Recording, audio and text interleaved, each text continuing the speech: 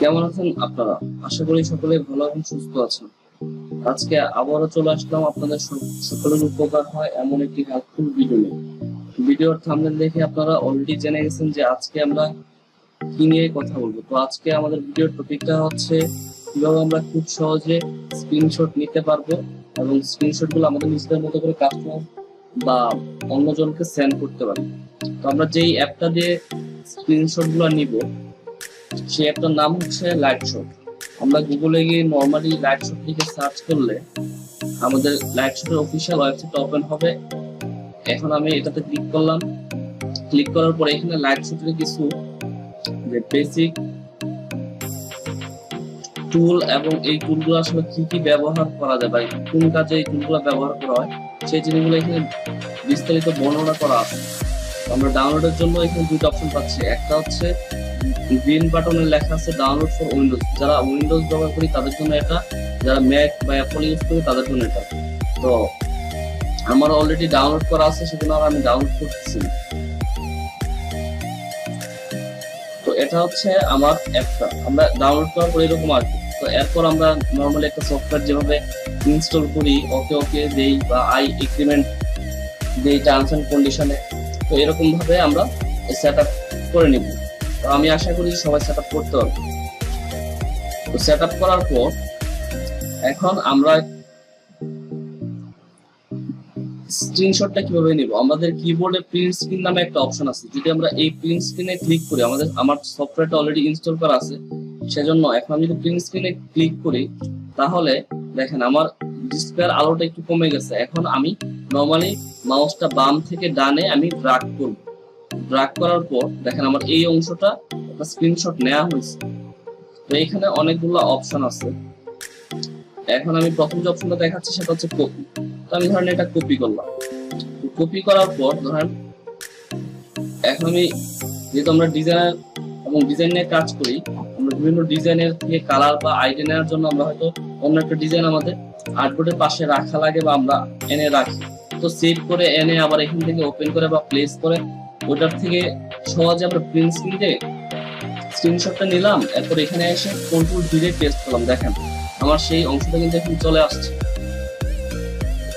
এখন আমি আবার স্ক্রিনে যাচ্ছি, আবার আমি প্রিন্ট স্ক্রিন ক্লিক করলাম। এখন নতুন একটা অংশ নিচ্ছি।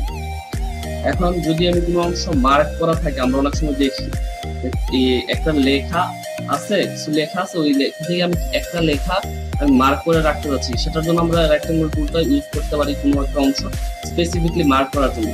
এখন সাপোজ এইখানে লেখা আছে আবির সরকার। এখন আমি চাচ্ছি এখানে আবির সরকার লেখা থাকবে না। তো এখানে ধরেন লেখা থাকবে অন্য কিছু। তো আমি নর্মালি এখানে দিলাম, একটা এরো চিহ্ন নিলাম। এখন আমি এখান থেকে টেক্সট যদি যাই টেক্সটে আমি এডিট করতে পারব, এখানে আমি অন্য একটা নামও লিখে দিতে পারব।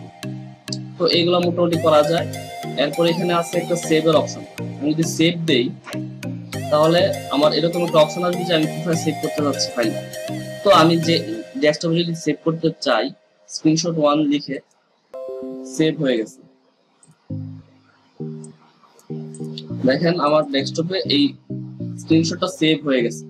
এখন ধরেন আমরা এই স্ক্রিনশটটা নিলাম, এখন অন্য একজনকে সেন্ড করব। আসলে একটু কষ্টকর ব্যাপার। এখন আমরা আবার এই যে গুগল ক্রোমটা ওপেন করলাম, আবার এটা দিলাম, এটা আপলোড হতে একটু সময় লাগবে। তো এর থেকেও একটা সহজ সিস্টেম আছে এটা হচ্ছে লাইট শটে খুব মজার একটা ব্যাপার, সেটা হচ্ছে, ধরেন আমরা যে অংশ স্ক্রিনশট নেওয়া দরকার, আমরা ওই অংশের স্ক্রিনশট নিলাম। এরপর এখানে একটা অপশন আছে upload to printscreen dot com এরকম একটা ওয়েবসাইটে দেওয়ার জন্য। এটা শর্টকাট হচ্ছে কন্ট্রোল ডি তো আমি এটাতে ক্লিক করলাম। এটাতে ক্লিক করার পর এরকম আসবে। দেখেন, এটা ওয়েবসাইটে আপলোড হয়ে গেছে। এখন এটার জন্য আমার এখান থেকে আমরা চাইলে কপি করতে পারি আমরা চাইলে এখানে কপিতে ক্লিক করলে কপি হয়ে যাবে। আমি স্ক্রিনটি এখানে কপি করলাম। কপি করার পর এখন আমরা যদি কাউকে লিঙ্কটা সেন্ড করে দিই কন্ট্রোল ভি দিয়ে সেন্ড করে দিই, দেখেন এন্টার দেওয়ার পর আমরা যাকে সেন্ড করতেছি, সে পেয়ে যাচ্ছে খুব সহজ। এখন তার যদি দরকার হয়, সে ডাউনলোড করে নিতে পারবে। দেখেন আমার এই যে স্ক্রিনশট স্ক্রিনশটটা এখানে চলে আসছে। এখানে এডিট ইমেজের অপশন আছে প্লাস আরও দুইটা এক্সট্রা অপশন আছে। তো আমরা নর্মালি এভাবে কাজ করতে পারি।